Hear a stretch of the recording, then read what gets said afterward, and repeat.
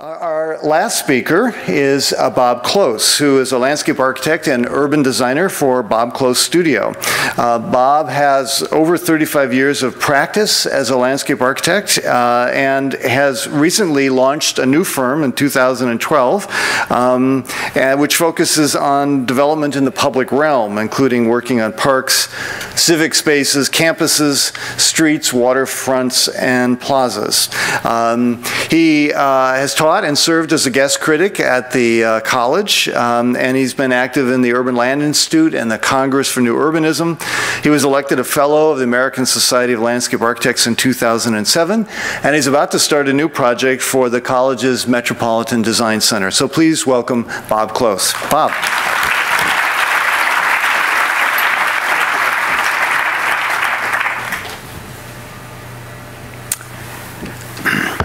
Thank you. There are some recurring themes that have you've been hearing as you've been listening to people speak tonight. And before I show you my first slide, I want to say that Michael and I never spoke before tonight because my first slide is the word serendipity. So when Michael came up, I thought, stealing my thunder right out of the chute. But I think really, in the final analysis, this underscores how important it is to be listening to what's going on around you, to be sensitive to all of the changes that come past, and to really allow those things to influence your life and your career. Life is full of ambiguities and mysteries, and, and, this is one of my favorite mysteries. I just thought I would take the opportunity tonight to show this slide. I've been wanting to do this slide for years. Some of you know that I grew up in a design world. This is my family in the 50s. My mother, the first licensed woman architect in Minnesota. My father, also an architect. And my brother, my sister, and our dog, Till. Um, none of the kids wanted to be in design. We listened to design conversations every night at the table, and it was all we could do to get away. We played with our imaginations. There was no Pac Man, there was uh, just our own imaginations. I'm in the middle here. And for those of you who know the Red Dog Band, this wonderful band, um, the boy second from the right is the lead guitar player. That's for some of you. Influences in my life. My big brother was into rock and roll, James Dean. So you can see the influence on me. I was, uh, I wanted to be James Dean. I couldn't have cigarettes rolled up yet. But uh, I was also very much into music. My parents had us all learn classical music as children, but rock and roll moved in, and suddenly it was the Everly Brothers and Buddy Holly. Those kinds of influences were important. I grew up in that house, and it was a happy house. And um, when I graduated from high school, Vietnam was going. So I went directly into the university, and I'm glad I did. My parents said, Get a liberal arts degree. You will never regret getting a liberal arts degree. So I became an English major, and I had a runaway minor, which was art, fine art. I loved debate classes. All of these things I had no clue would serve me well in my future. And my favorite paper I titled, What Are Words Worth? And it was about the misuse of language, intense, you know, puns and so forth in, in serious plays and, and so forth. I got an A on the title, by the way, and I think like a C plus on the paper. so Tom spoke about traveling. I traveled, I went to Europe, and I spent a lot of time in the West. And again, I had no idea really where this was leading, but I, I was profoundly impacted by the Western landscape and the way communities fit into that landscape. And I was very intrigued by community and, and what it meant. I came back and naively, with my girlfriend, settled in a rented farmhouse near Cannon Falls. We had no jobs, we had no money, we had no connections. We were totally foolish. But anyway, we were there and we, we were having fun. Then one day, the knock on the door that changed my life, and this is serendipity. A man named Charlie Tooker, who looked a little like Dennis Weaver, for those of you who know Dennis Weaver, had this wonderful mustache, introduced himself to me. He knew who I was, I had no clue who he was, and he offered me a job. He was a city planner and a landscape architect, and also had an apple orchard. That was his favorite love.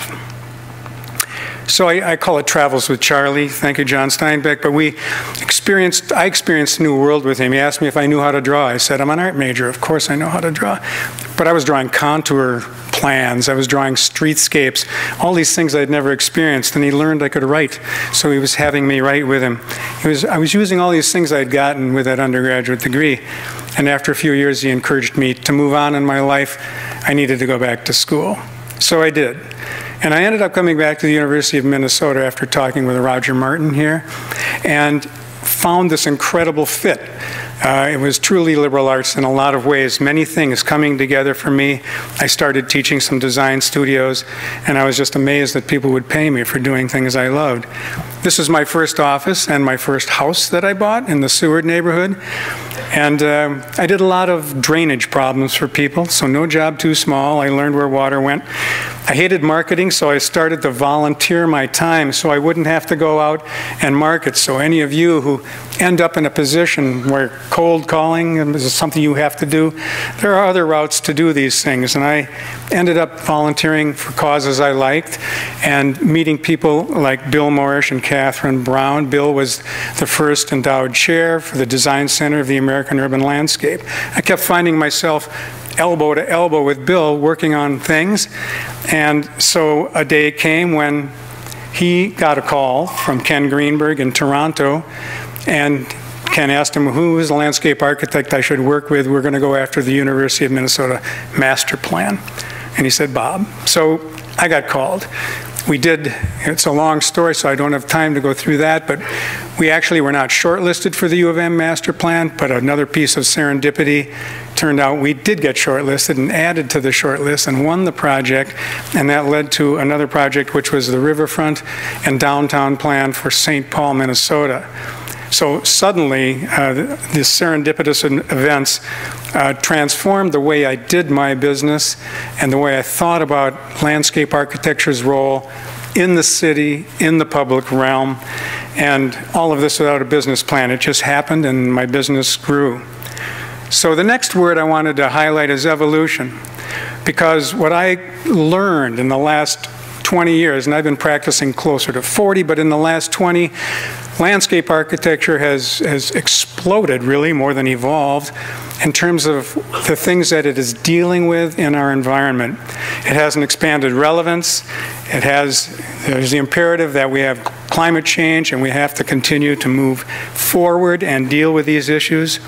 And so those are the kind, this is a project in, in Victoria, British Columbia that is exactly about architecture and landscape architecture and all the elements of design coming together. In my opinion, the Office of the Future will look very different than the office of today even. There will be many more people around the table. There will be people, uh, environmental people, engineers, developers. Uh, we will have them all around the table because the complexities of projects today are far more than one discipline can do. So it really is about collaborating and learning from one another. So we live in a rapidly changing world. We have a lot of issues we need to respond to. People are speaking about the tipping point, and if you reach it, things have to run their course. This notion that we need to heal the environment, we need to protect our resources, we need to restore what we've damaged and allow it to flourish. I think that's a primary tenet of landscape architecture, but I think all the design, all the design representatives in this room we need to be working together. And yes, we need to bring beauty and joy to the places we create. So my message is, let's get to work together. Thank you.